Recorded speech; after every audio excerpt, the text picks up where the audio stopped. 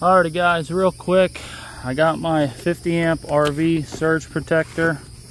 So if you guys uh, have an RV, you may want to look into a surge protector.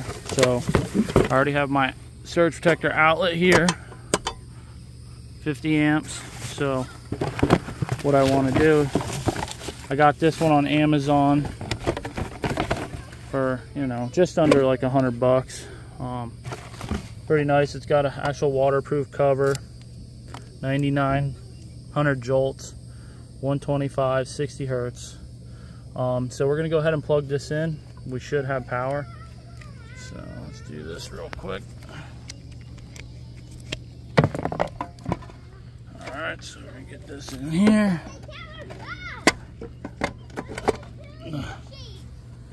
Oh, thank you. That closes. And then right here it says protected powers on. So all three of them are on. It has an overheat. So now with this, we're gonna plug in our RV. No, I don't walk on it. How's you walking over here? This should just go right in. Careful putting it in. Mm. That's supposed to shut. Just like that. Hold on there, boys and girls.